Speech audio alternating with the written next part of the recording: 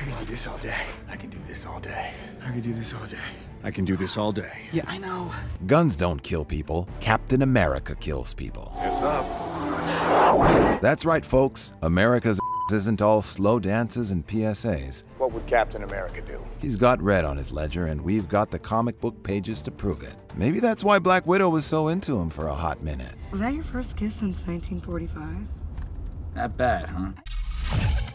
Captain America Comics number 3 was a graphically very violent and extremely odd comic. In the queer case of the murdering butterfly and the ancient mummies, a violent criminal was robbing a museum night after night, sending its guards to the morgue. Cap investigates, and the armed robber turns out to be the museum director who dresses as a giant butterfly at night to commit the robberies. Which reminds us of the Family Guy episode The Fat Guy Strangler when Peter has Brian dress up with him in a two-person horse costume so he can lie to Lois and tell her he's going to get a physical instead of steaks with the guys.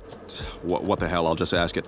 Why do we need the horse suit for that? I mean, why not just wear a ski mask like a normal burglar? Anyway, the butterfly uses the simple Lenny as his muscle, reminiscent of the Lenny from my seventh grade book report on Of Mice and Men. And, and I get to tend the rabbit. Yeah, you get to tend the rabbits. As he is as strong as a horse, it has the IQ of one as well. It did not work. Yeah. In combat with the poor block-headed behemoth, Steve Rogers sends Lenny to the heaven where he can tend his rabbits by throwing a dinosaur bone through him. Yikes. He also snuffs the butterfly and evades the police. This Cap's a bad boy. Maybe not technically Captain America, as it wasn't Steve Rogers, but definitely worth mentioning. The Falcon and the Winter Soldier's John Walker got severe tunnel vision when Karli Morgenthau iced his bestie Battlestar. Vengeance is mine, saith the captain as he chased down the slowest of the runaway flag smashers and took the low road in avenging his brother in arms, Battlestar. He desecrated the shield in front of the general public, a public relations faux pas Steve Rogers would never have done. Captain America 254 reveals that John Walker wasn't the first Cap to decapitate someone with a vibranium shield. It's Blade. It's the Daywalker. Instead of calling Blade, Union Jack calls upon Steve Rogers to murder his own brother who has become a vampire. One of Dracula's undead minions, Baron Blood met the wrath of Steve Rogers' shield. Although he was just doing his job, Cap was crushed under the weight of what he'd done, and in front of Baron Blood's immediate family, no less. Imagine the therapy. For 50 cent in 1980, you could have bought Captain America number 249, where Cap fought Machine Smith, a strange enemy with unique motivation. He had lived too long, seen too much, and knew too much. That drove him to cynicism, which drove him to madness and sadness, which led him to a death wish. Machine Smith needed assistance to end his own personal psychodrama, as ending your own life was against his programming. Since Suicide Squad is DC and therefore impossible to reach from the Marvel world, and probably don't do the kind of work their name suggests, Machine Smith got Cap to unwittingly be the accomplice in his own murder. He destroyed Machine Smith's earthly body, thinking he was going to trap him in some kind of digital purgatory where Cyberpunk's Johnny Silverhand lives, but no, he sent him to the great beyond, where Soul's Joe Gardner is. 1977's The Invaders number 21, we learn that Steve Rogers hates guns. He hates them so much he has to use them all the time just to remember how much he hates them. Sometimes, Cap is like a smoker who is constantly saying he hates cigarettes and is going to quit, but you always catch him with a ciggy in his mouth and he's like, It's my first and last one, man. He shoots a bunch of planes out of the sky with a machine gun. Just remember, he didn't like it. 2005's Captain America comic relaunch saw a Cap that would only break the fifth commandment if he had to. And from the very first issue, you guessed it, a situation came up and, oh yeah, he had to. A group of terrorists hell-bent on blowing up Coney Island get interrupted by the man out of time. And when one of them fires at him from a chopper, Cap takes the whirly bird out of the sky and sends the gunner and pilot to meet their ancestors. He's not the only major superhero to make spirits out of his enemies. Remember what Batsy did to Ra's al Ghul at the end of Batman Begins? I won't kill you, but I don't have to save you. Bro, that is such a technicality that's not even funny. If Joker only knew. You want to kill me? I'm your best friend. Captain America number 113 showed the brilliant but cold and calculating side to America's golden boy. In the story Captain America Lives, Cap fills his motorcycle with some extra super flammable gas. He parks it near some Hydra soldiers and gets Rick Jones to shoot it, making his enemies go boom. Well, let's just say Frank Castle will be very proud of him. On one of Cap and Bucky's first adventures as a warfighting duo, they start off in a more innocent battle, punching and kicking German soldiers and tying them up. The next, they're loading a raft with more explosives than Wile E. Coyote and send it into an enemy warship. The sound is a symphony to Bucky's ears. In this version of Grandpa Frisbee's mythology, it's Steve Rogers that gives Bucky his taste for blood, perhaps turning him into the Terminator he later becomes.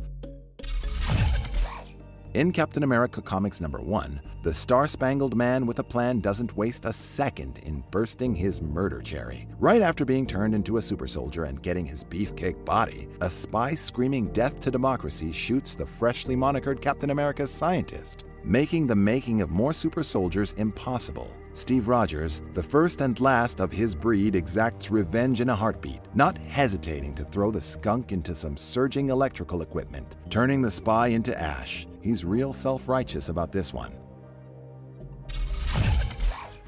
In Captain America number 321, Steve takes on Flag Smasher and his gang Ultimatum, which stands for Underground Liberated Totally Integrated Mobile Army to Unite Mankind. Yeah, that name's way too long. Ultimatum jacked a U.S. passenger plane and took the hostages to Switzerland. Cap infiltrates the hostage holding area disguised as a guard and holding a machine gun. When Captain America finds himself face to face with a member of Ultimatum and gives him an ultimatum to stand down or get a lead salad, he ends up having to use the business end of the firearm to save the civilians, proving that yes, he can trade lives, but at great personal cost. Later on, he says this was his first time taking a life. But we're like, bro, didn't you fight in one of like the most bloodiest wars humankind has ever seen? In The Adventures of Captain America, Sentinel of Liberty number 3, Cap and Bucky go hunting for the guys you do not see coming. He bombs some goose steppers with some fire in the hole. After the death of one of his colonels, he pulls a John Walker and goes on a rampage shooting a bunch of the Red Skull's army with a revolver. I mean, I've been shooting these kind of guys since Wolfenstein 3D on diskette, but some of us do hold Captain America to an almost impossibly high moral standard. War isn't for the squeamish, and maybe some of us can't handle the truth. And the truth is, Steve Rogers will pop a cap in your you-know-what if you cross his Uncle Sam. Post 9 11 2001 came out with a new Captain America comic where Steve has to protect G.W. Bush's shaken up America. He sure saves his anger for the enemy in the enemy story arc. Like Gustavo Leon said in 2003's A Man Apart, to bring down a monster, must become a monster. Cap declares war on Al Tariq and his shepherds. After a nasty battle, Cap sends Al Tariq to his grave. After doing the deed, Cap says to the media that America did not kill Al Tariq. I did taking off his cowl in a reveal so dramatic, we'll bet the MCU's Tony Stark was green with envy. In Captain America's number 616 short story Opaque Shadows, Cap has a tryst with a widowed artist, Jenny. She paints his shield and serves him coffee. Oh, the good life. When her hubby Mike returns, seemingly back from the dead, it turns out he's a spy for the Axis of Evil. Cap gives him the hard goodbye with the old shield to the chopper. After saving Jenny and posing with her for a painting, Cap leaves her. Oh my, this dude was a bit of a player pre-Peggy. Hey, come to think of it, Steve unwittingly made out with the power broker in Civil War. Ooh, if that comes out, will Cap get cancelled? Avengers Endless Wartime is a graphic novel that addresses Captain America's history as a soldado. Beyond the pep rallies, this super soldier was bred to be an instrument of destruction for the Allies. Being part of the greatest generation comes with a great price. Like when Mr. Rogers bangs on the lowest keys of a grand piano, or when Steve Rogers punches a heavy bag across the room, these men have a rage that burns under their skin and in their souls. Wolverine knows about Cap's darker side and calls him on it. Blondie Stevie tries to play high and mighty with his fellow war vet, telling him, Logan, I respect you, but don't tell me I'm like you. Wolvie replies, Not a killer, you mean? You were in World War II. Don't tell me you didn't kill anybody.